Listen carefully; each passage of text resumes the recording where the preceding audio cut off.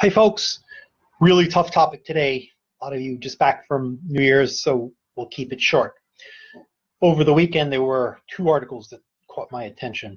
One was a report by ProPublica, the public interest uh, journal, uh, that took a look at 40 or so complaints made to Facebook about inappropriate content. And Facebook, after reviewing, conceded that um, the responses of the Facebook moderators, many of them were wrong according to Facebook's own guidelines. They should have taken it down or they should have not taken something down. The other article that caught my attention was a big article on the Wall Street Journal uh, that looked at the challenges of the people who were doing this moderation at Facebook, at Google, at other uh, places where um, moderators review posts to make sure that people who are doing things that are abusive, um, those posts are removed. I helped manage this policy for six years or so at AOL. At the time, we had the largest community, and we worked really hard. We had thousands of people in Oklahoma City, in the Philippines, in Israel, in different countries where we had um, employees or very often contractors who could expand, fill the volume needed. Uh, you know, you can imagine during a particular uh, show streamed online, during the Super Bowl, during any major event, you could have these giant spikes. Uh, you need people sometimes with niche uh, ability to speak different languages if your service is available in many languages. And these people had to spend their days reading thousands and thousands of posts some of the most offensive things you can imagine that people post. They had to, you know, look at child porn, um, bigotry, incredibly offensive, um, anti-religious, anti-women. Uh, you name the ugly thing. There's someone out there um, arguing about it or or jabbing uh, back and forth. Many of those folks, we trained them we gave them our policies. They did as best as possible, but gosh, put you in a room where this is what you look at for eight hours a day, uh, and where the only context you have is perhaps a little bit of information before and after. You cannot read a long string of messages of hundreds and hundreds to uh, understand whether, well, what this person said in this context was okay or um, in this context was uh, offensive. And so you can imagine the accuracy here is a challenge. We would routinely audit uh, and then see that many of the moderators uh, were uh, still falling short of where we wanted. Let me give you a sense of the complexity of, of some of this.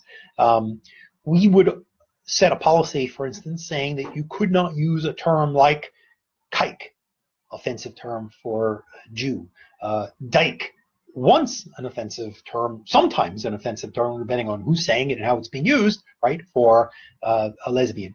Uh, so we ban those terms saying, well, those are bad words.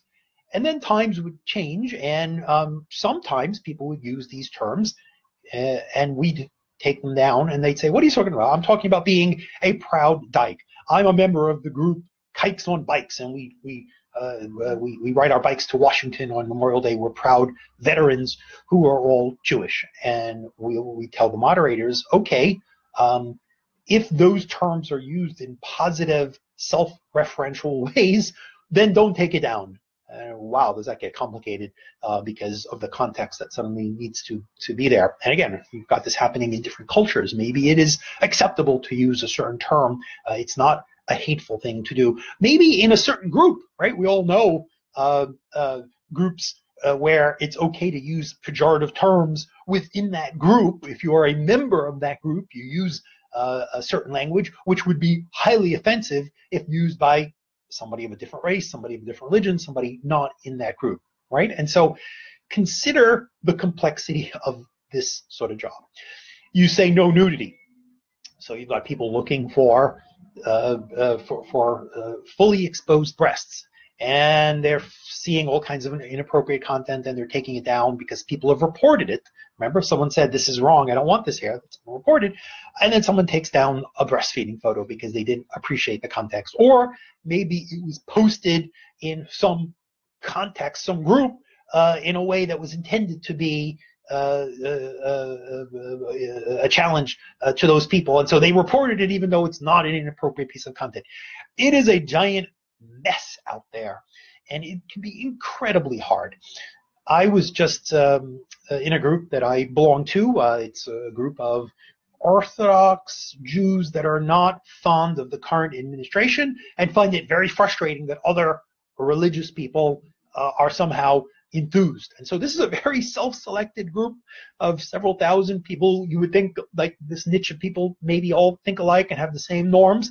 And the moderators had to intervene today and boot out somebody who fit into that mold, was you know, observant uh, Jew, unhappy with uh, Trump, but who was offended and who then offended people who then offended each other back. And the moderators had to step in uh, and boot one member from the group and say, hey, this isn't uh, appropriate.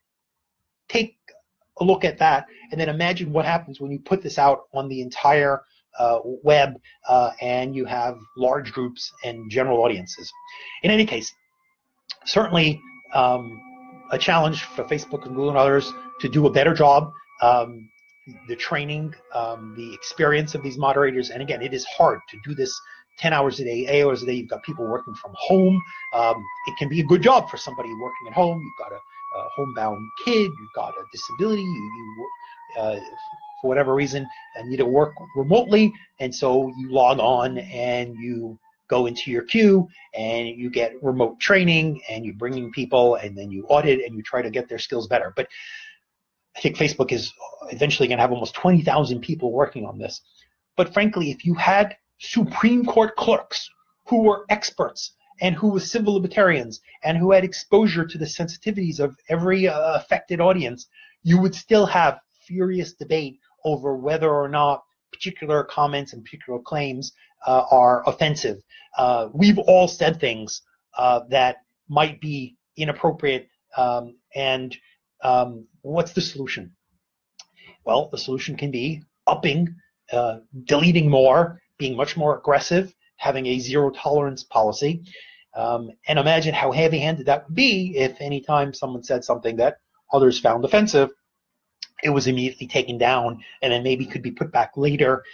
Getting that balance right that still lets most of us have their say um, and removes the most offensive content a true challenge. So technology is being developed. Um, again, being able to capture those contexts that I talk about. Artificial intelligence is not yet there. Um, certainly, it will learn over time by the kinds of posts that people take down, and I imagine it will be better, frankly, at some point.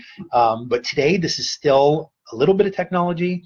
Um, technology helping the moderators move quickly, pulling up their posts, um, uh, uh, human review of the moderators, and then people uh, who are experts and who have ties to the various uh, communities um, shaping these policies. Again, understanding how in each culture, in each country, they're different. So uh, it's hard to see some of these stories because I, I usually see these things and I'm like, there's an answer. You know, here this company should have done this better. I see this and I say, well, I guess you need more people. More people being hired in every one of these companies. Um, technology needs to be trained up. It's certainly not there. But I think we also need to understand that this is never going to be perfect. Um, that being too heavy-handed uh, is perhaps almost as bad, if not worse, than being too tolerant here. Um, leveraging as much as possible the ability of people to decide who they interact with. Um, Facebook is far better an environment than Twitter because, frankly, other than when you're in large groups, you generally are interacting with your friends, your friends of friends, and even when you're in large groups, there are moderators in there who very often can set their own tone and they can decide, well, I don't care what Facebook standards are. Here we talk about this topic, or we don't ever say these words. Uh, and if you don't like it, go start your own group, right? And so you have a little bit more um, um, editorial control in some way by people who step up as moderators and set the tone. I'm the moderator of the uh, of a listserv in my community, and I decide the rules. And um, uh, sometimes people don't like it, um, but I'm spending the time. I'm using. Uh, if you want to, you know, send your message. We don't allow. Um, we, we allow some degree of marketing, but we don't allow too much. And I decide how much.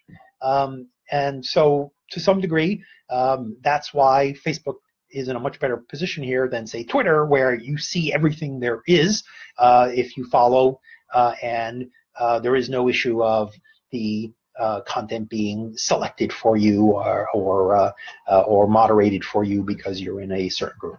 Anyway, uh, good luck to uh, the uh, people who are running these moderation programs. They truly are the most challenging uh, public policy jobs there are.